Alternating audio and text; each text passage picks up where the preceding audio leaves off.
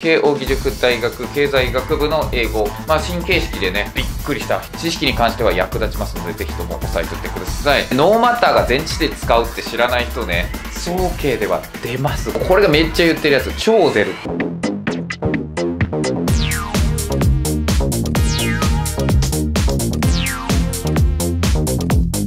本で始まりました。もちチャンネル。さあ、今回はやっていきましょう。2023年、慶応義塾大学経済学部の英語を公表していきたいと思います。まあ、新形式でね、びっくりした人もいたと思うんですけども、なんか表紙にね、形式変わりましたよって書いてあったんだってね。1個のね、字の文が日本語になってるってやつなんですけど、まあ、ただね、照らし合わせに使うものなので、その日本語だけ読めればいいってわけじゃないんだよね。その前の文の英語の長文が理解できていないと解けないって問題なんで、かなり苦戦した人が多かったと思います。で文章自体は読みやすいし、問題自体も早慶の問題の中では相変わらず長文は簡単なんですよ。簡単なんだけど、今回の新形式でガクンと落としちゃった人がいるんじゃないかなっていう印象ですね。で、いつも言うんですけど、まずは英作文のトピックをチェックしてから行くことが大事。で、英作が Should the Japanese government pay families to have more children? Why or why not? まあこれよくあるトピックです。実際、これでもう1個添削してますからね、私のもりてつ English Writing で、このトピックで書いてきた方いましたから、政府が家族にですね、子供手当みたいな子供が増えたらお金あげるみたいなのをやるべきか。で、次は、should the Japanese government take action to increase the number of caregivers in society? Why or why not? まあちょっと連動してますよね、今回この2つのものが。caregiver ですから、この子供を世話する人の数を増やすために何かした方がいいのかっていうので、1つ目の文章と2つ目の文章が A のトピックに関連してます。で、大門3と4が B と関連してるという形になっています。知識に関しては役立ちますので、ぜひとも押さえておいてください。まあいろいろともコメントは来てたけど、優しめなんですよ。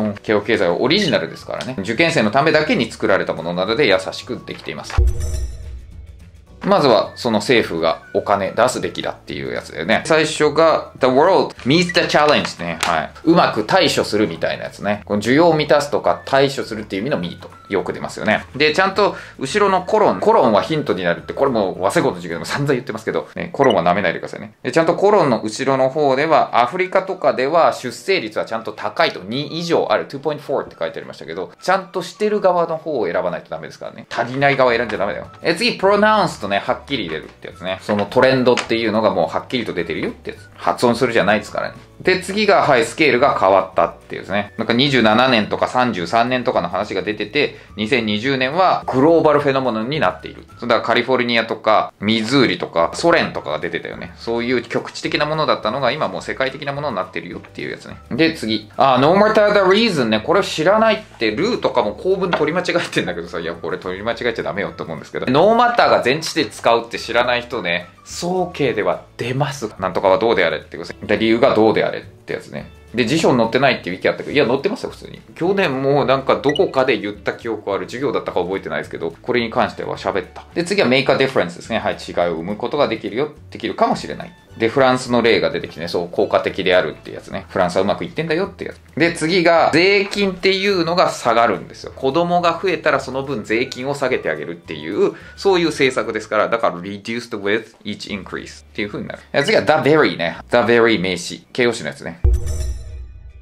続いてそれに対して反対。そんなお金なんか出す必要ねえよっていうのが二つ目の長文。えー、最初が given。与えられたって given nor extra factors。external factors を与えられないでってやつでしたね。そう、with が入るかなって思って、with no external factors かなって思ったら選択肢に with いなかった。で、次が計算ですね。引っかかっちゃダメですよ、これ。0.2選んじゃダメですよ。そう、フランスの出生率が1.9って言われているけれども、本当はイミグランツ入れなかったら1.7だよねって言って、これで計算して0.2を出しちゃいけません。この差の倍だけど、by at least って書いてあるけど、older not fallen to the levels of those born in France って書いてあるから、フランスで生まれた人たちのレベルにまでは下がらない。だから1.7までは下がらないって言ってるんです。だから、fall by at least 0.1ですね。1.9からマイナス0.1すれば1.8です。だ少なくとも1.8ぐらいにはなるよっていうやつです。1.7にはなっちゃダメなんで、だから0.2じゃないんですよ、これ。計算です。で、それぞれ入るのが、10が offered tax break 2っていう人が来てたよね。で、3が mandated that SV 原型ですね。これさせるわけです。義務としてるわけ。え仮定法現在のレベルの高いやつですけど、できなきゃダメです。で、次、 accompanied by ですね。はい。これがついてくるってやつね。 public campaigns がくっついてくるって言ってたよね。で、次が、えー、この natalist measures ってやつね。 natalist の人口が増える。そういうのを言ってる人たち。What's not previously mentioned ですから、述べられてないのを選びます。だこれは3が出てない。他は出てるから。Direct Cash Grants ね。ほら、 grants 大事ですよ、早慶では。Rebates ね。この間トイックってましたけど、埋め合わせてあげるお金ね。で、タックスブレイクはもう、あ、さっきのあの、オファー空欄入れるとこで。で、次14番。これはね、構文だからできなきゃダメです。just as SV で、主説 SV。これと同じようにって書いてる。まあ、similarly っていうのも書いてあるから分かりやすいし。まあ、これは絶対板書して教えるやつなんで、この間の高校での授業でも教えてきましたけど、早慶クラスでもやってたし、和製語でも必ずこれが出てくる場合は説明します。それぐらいよく出るから。次15番はトピック分かればいいんで、unemployment ですね。はい。これは仕事を失っちゃった人たちの話が書いてあるんで、段落のトピックだから分かりやすい。まあ次がちょっととむずいよね。まあ、エンバイメントっていうのは機能不全になっている。不思議じゃないでしょっていう感じだよね。だろうか？いや、ないみたいですね、これね。人間がプラネットを攻撃してるって書いてあるもんね。まあ、環境がトピックと考えれば2だよね。で、次が2つのアーティクルズについて言えることで、まあ、最初はコールさんが言ってたよね。should not っていうのが、まあまあ、このガバメンツがやるべきじゃねえって言ってるコールさんの方でしょ？で、some success 成功はしてる部分があるっていうのはコールさんも認めてたんで、で、賛同してる側がアフラだから、両方がやってる3で、これは今年は簡単だったね。次はアクセントで違うのは comprehend ですね。他は compulsive, condition, consider だから2個目の音節に来てますね。で、次は動詞と名詞で変わるやつ、conduct と conduct ですね。名前動語ってやつ。まあアクセントは簡単でした。で、次が caregiver の方ね。で、誰の responsibilities だみたいなんで、まあ government のことを言ってんだけどね。最初がもうこれがめっちゃ言ってるやつ、超出るって。名詞プラス alone ね。もう何回も出題されてるじゃん。超絶出ますよね、これね。もう和製法の授業でも何度も言った。めっちゃ出るって。また出たよ、今年も。続いて22、23、24に入れるやつは何？最初が poor status of care work だよね。ステータスが低いんだよね。まあそうじゃないですか。ベビーシッターとかって位が低いよ。いろんな国考えてもね。で、次は1960年代から2011年って書いてあるから times change。で、caregivers とか their partners っていうののヘルプがなかったら、 social care っていうのがコラプス。崩壊しちゃうでしょってやつです。まあ簡単ですね、これだから。次25。これ abuser care facilities has become systematic だよね。mistreatment とかっていうの出てたよね。これもさ、ちょうどやったんだよね。昨日英作文で。チェックした内容。よく出んだね。で、次が、まあこれは絶対知っとかなきゃいけない。tip of the iceberg。氷山の一角ってやつ。ほんのちょっとで、まあ他のものもこんなのもあるよみたいなの書いてあったもんね。で、次は文法ですね。association of 何々 with っていうアソシエイト A with B はめっちゃ出るから、総計で。だから、ケアワークっていうのをする人っていうのはマージナライズドな人たち。だから、センターではないマージナライズね。身分の低い人たちっていうのと結びつけられてた。次は patients は大丈夫でしょう。ビットウィーンで来てるからね、ヘルスケアスペシャリストと繋がるんだったら患者でしょう。で、次はまあこれ消去法かな知らなかった人多いと思うよね。文脈でどういう状況かわかんないといけないですよね。Many women do both whilst これあの while ですよ、これ。while の硬い版。whilst holding down a job ですね。だ仕事を続けながら。だ前の文に taking care of an older family member while taking care of their own children っていう風に上のケアも下のケアもしなきゃいけないって書いてたからね。仕事を頑張って続けながら、さらにこの2つやんなきゃいけないというか、それは辛いよね。で、次が acknowledge 認める caregiving needs and responsibilities だからこれまあできてほしいかな。で、次は文法ですから絶対できなきゃいけないね。or it adopted, it would allow individuals っていう風に家庭法の if とかした統治ですね。これは文法なんで楽勝。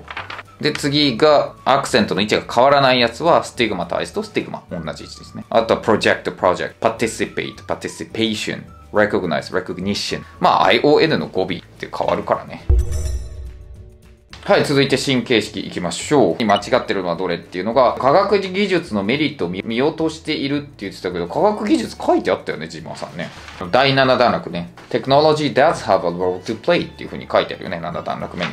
で、次が、Which of the following area is discussed by Zima but is not mentioned by the reviewer ですね。レビュアーによって述べられてない。Zima は言ったのに。1は men じゃなくて women だよね。普通に出てたのは。女性の役割を再検討する必要ばかりを強調しているがって書いてあったもんね、そもそもね。えガバメントに関してはまあ両方っていう感じで、the low level of investment currently in this area 投資なんて出てたっけどっちも出てきてなくないっけ、投資は。4はマイグランツね、はジマーには出てきてますね。はい。でも、この批評の方には出てない。で、次が、地理的に限定されてるっていうのはどれのことかって、これ2ですね。はい。Asia, Africa, Latin America 出てきてない US, UK だったでしょ。そう、だから US, UK っていうのを言ってる。だから1は UK 出てきてるから矛盾してるし、その4っていうのは Country Specific、UK とか US Country Specific ですからね。で、次はジマーさんの Unwritten Assumption レビュアーが言ってるのは、そう、誰の責任だっていうので政府のことについて言ってるんだけど、政府とはディレクトリーには、そのジマーの方は言ってないけど、このレビューアーの方は政府が直接的な捜査を行うっていうふうに言われてるんで、